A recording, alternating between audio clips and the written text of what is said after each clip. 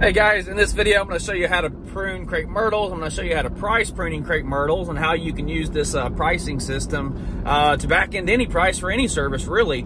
Um, everybody's pretty familiar with the uh, per man hour rate and how to you know come up with that for your company. But but how do you actually back into a price? Like let's say if you know what you want your per man hour rate to be and you know how long a project takes you, how do you actually come up with a price you know, given you know what you want your per man hour rate to be. That's what we're going to talk about in this video. Very simple to understand, but it's going to let you um, bid jobs with complete confidence, knowing that your margins are being met and that you are going to be super, super profitable. So let's check this out.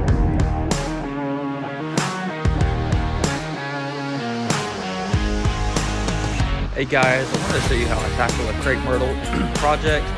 So what I use is, is a pair of uh, hand shears, a handheld sawzall, not a big one, just a one that you can hold in one hand, and then a tarp, and we drag the tarp into the trailer. If you have a dump trailer, fantastic. Not everybody has a dump trailer, so I found that having a tarp and sliding it um, is the quickest way um, to kind of move this material all down this row. So just toss it straight onto here, slide your tarp down, and then slide your tarp all the way to your trailer um, to wrap up. But real quickly, um, you know, we've seen guys that they'll cut the crepe myrtles off here. Um, the way that we like to do it is at the forks. Um, that's just the way that I was taught to do it. Always do it at the forks. So if you want to make a hat rack of it and your client wants that, by all means, go ahead. But, um, you know, doing it at the forks gets you many more blooms and many more shoots. Um, so again, forks, and then always thin up the interior of the tree. You don't want these branches like, you know, all, you know, basically look like a spider's web in here. You want it to kind of go out. Not too many suckers on the bottom of these crepe myrtles, um, so that'll be easy enough to print up. What I found is that the hand shears um, do good for very small, um, very small shoots, but you know anything substantial, anything over about a quarter of an inch, um, that is the ticket also you want there to kind of be like continuity in the height here. You don't want some up here and then like for example like one cut way too low down here. Um, this one it was just super super thin and just where it had to be cut. But you really want the top of this to kind of be somewhat even. Um, so keep that in mind whenever you're making your cuts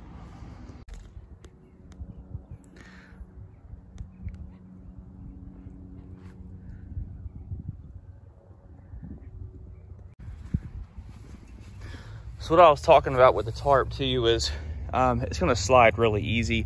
Um, obviously, you know, I can't show you how I'm gonna do this by holding my phone. If I wanted to go in there and get my GoPro and strap it to my chest, I could do that, but y'all just gonna have to take my word for it that this slides across the ground very, very easily. So get yourself a commercial grade tarp. Get the thickest one that you can get because you will still wear that thing out relatively quickly, okay? Harbor Freight, guys, it gives you the cheapest price on these things. Don't try and skimp and get the cheap one that's thin. It won't get you through probably two jobs. Get the super, super thick one. Uh, it'll last you about, I don't know, half the year. So, uh, great little tool to keep in your toolbox as a tarp. All right, guys, let's uh, just do a, a quick example of how to price these. And then we had a big one over here on the corner, okay? Um, so I've talked about per man hour rate before, and I wanna kind of just do a calculation where you can actually back in um, to a price, okay? And we're gonna work through that really quickly. I think you'll find this interesting, okay? So these right here, each one of these, on average, I timed every one of these, all right? I'm weird. I told y'all I'm weird. I timed this. All right, this was about four and a half minutes. This one was about three minutes. This one was about four minutes. This one was about six minutes. This one was about five minutes. So all of these size crepe myrtles, okay, they were all on average about five minutes, five to six minutes here for each one of these, okay? I time myself on this guy right here, okay? Up a lot higher, it's a much thicker tree. Um, this particular one took 12 minutes, actually like 12 and a half minutes, okay? And I wanna show you what we're gonna do uh, with that information and how you can back into your price for this project right here. All right, guys. So um, I went ahead and just already set this up. Um, if you want to, know how to set this up so you can use it for yourself, um, I'll just go through that really, really quickly. If you already know how to do this and you want to just skip forward a few minutes, uh, feel free to. Um, but look, so what we got up in here is, is our minutes. Um, 60 is just going to be a constant number. Um, this is our value column, and then this right here is our actual per man hour rate, whatever we want to get per man hour. All right. So crepe myrtle, this is just um, a very, very simple generic um, table here that you can set up very, very quickly.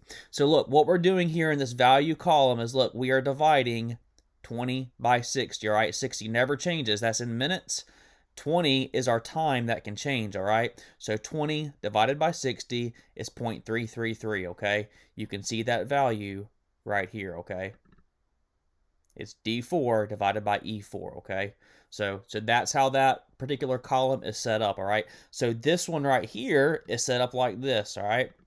This is going to be this column times your per man hour rate. Now just stick with me. If it all looks kind of confusing, just stick with me and hear me out. I'm going to explain everything, okay? Very, very simple to understand this.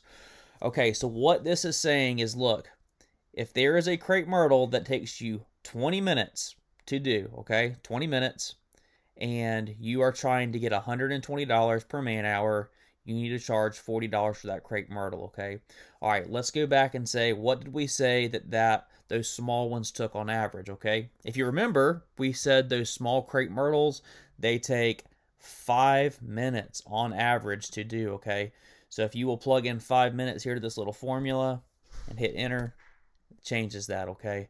So each one of those crepe myrtles, if you can do them in five minutes, if each one takes five minutes to do, if you are trying to get $120 per man hour for that for that project, you need to be charging $10 per crepe myrtle. All right. Now look, let's say for whatever reason you wanted to get $200 a man hour. Well, what did I tell you that I was making in this project? I don't know if I did or not, but here's what I was making per hour, okay? I was making $200 a man hour is what I typically go for if I am out working. So let's hit enter on that. That means on average, I need to be charging $16.67 for each one of those smaller crepe myrtles, okay? And again, this changes based on your time. 60 never changes. The only two variables is your price per man hour that you're trying to get and how long it actually takes you. Now hang with me for a second here, okay? Let's just let's just blow everybody's mind here, all right? Let's just change this. Lawn mowing. All right. Lawn mowing. You want a lawn mowing price? Let's say a lawn takes you 30 minutes to do and um, 60 always stays constant. So what's this number going to be before I tell you? Before I tell you, what should this be? All right, you should know that this is going to be 0.5, okay? Because we're going to go 30 divided by 60. All right, so that's 0.5. So if you wanted to make $200 per man hour, okay, for your mowing on a lawn that took you 30 minutes to do, you need to be charging $100, all right? That's a tough sell, man. Hard to do most people's lawn mowing rate, like if you're doing pretty good, you should be able to get $90 pretty easily. I can tell you guys that I am pretty close to 120 a man hour. So, for example, uh, if we were trying to get $120 per man hour, um, and I knew a lawn took 30 minutes to do, uh, we're just going to put 120 up here, and we're going to hit enter, and that lets me know I should be charging $60 for a lawn that takes me 30 minutes to do if I want to earn $120 per man hour. Hey guys, real quick, I realize not everybody may be familiar with how to set up formulas and stuff in Excel or, or a number software or something, so I want to just take two minutes to show you how to do this. It's very, very easy, okay? If you'll just listen to me for two minutes, I can show you how to do this, all right? So um, let's just let's just set this up like whatever your service is, um, you're going to go minutes. This is all. This is this is your time, and it's in minutes. Um, again, 60 is constant, so let's just put 60 is constant as as your reminder. Okay. Value. This is a percentage value, and this is going to be your per man hour rate. Okay. So what you'll do is, is just go into Excel and just type in those little categories. Okay. All right. These are columns and these are rows. All right. And guys, forgive me if it sounds like I'm just kind of like you know, this is, is baby stuff. If y'all don't like this type of stuff, let me know. I'll never do it again. But if you like it, let me know because um, it's easy to kind of get lost in the weeds on this stuff. But I, I think it's valuable to you. All right, I got like 60 seconds left to show you how to do this. All right, so again, 60 is always constant. So we're going to put 60 right here. Time is in minutes. So let's say a project takes you 15 minutes. Hold on. Florida Turf Pros, this is Jonathan. Oh my gosh, my extended warranty is up, guys. Anyways, so value, all right, we said this is a percentage, all right? This is a percentage. It is this number divided by this number, and I want to show you how to do that, all right? Set this formula up. The easiest way to do it is this right here. You're going to type an equal sign equals, all right? We're going to go D9 divided by, what would you guess it would be? All right, it's E9. All right, 0.25, all right? 0.25, again, because it's time divided by 60. Time divided by 60, and that gives you your value, all right? Per man hour rate. All right, here's what we're going to do. Watch this now. Watch this. Let's say if you wanted to make $90 per man hour. What you need to do is, is you need to be, be able to multiply this value by this number. And here's how you set that up. Watch this, all right? You're going to go into this cell right here, and you're going to multiply G8, G8, that's this cell right here, G8, by F9, all right? F9, there's F9, there's G8. Here's how you're going to do this, all right? Go equal sign, product, what did we say? We said G8, put a colon, or I'm sorry, put a comma, and then we said F9, F9. 22.5. What is that number? What is that? All right, well, let's just change this to uh, currency. All right, this is what you should charge. All right, if a service takes you 15 minutes, all right, and you're trying to earn $90 per man hour, okay, if it takes you 15 minutes, all right, and you're trying to earn $19, $90 per man hour, you should charge $22.50. All right, that's how that works, okay? Well, now that your formula is set up, this can change. If a service takes you 15 minutes to do, all right, and you wanted to make $120 per man hour, you should be charging $30, okay? All right, I, I, hope, I hope that makes sense, all right? Let's say you wanted to make $120 a man hour, but the service is going to take you 30 minutes to do. You should be charging $60 for that service. All right, guys, so to recap, this is time. It's always uh, in minutes. 60 is always constant. This cell will always stay like this. Value, this is a percentage value, and you're multiplying this number, this percentage value of these numbers by your per man hour rate up here, okay? All right. I hope that's very, very simple for you to understand. If you got any questions, leave me a comment and I'll try to explain. But um, I, I think everybody should be able to get that. Something that I want to mention about the per man hour rate of $200, um, it's not that my rate of $200 is, is outrageous. It, it's, it's because we're able to execute that project. This is important. Listen, it's because we're able to execute that project in a very timely and efficient manner, okay? For example, that big tree. If that big tree had taken me 45 minutes to do, you know, I can't charge, you know, $200. Let's say if it took an hour to do. I couldn't charge $200 to trim that tree. It's not reasonable, okay? That's why time is the most important factor in what you're doing, okay? Time is the exponential variable in that formula, okay? It's more powerful than price, okay? If you can get your time down and be super efficient, your margins go through the roof. And that's the point, you know, people say time is money.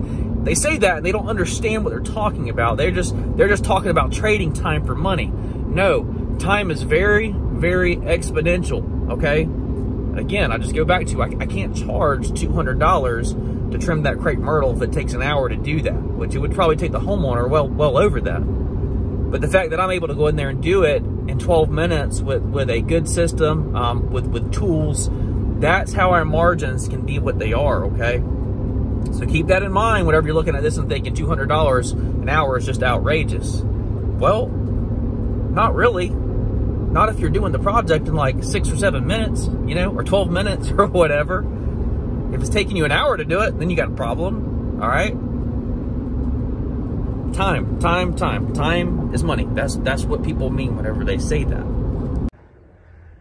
Okay, if you want one of these things, um, I'm gonna put a link in there. Make sure you get this battery pack with it though. Um, don't get those little tiny ones. This one gives you a lot more uh, battery life. Um, help a brother out. I'll get like 30 cents if you buy one of these things.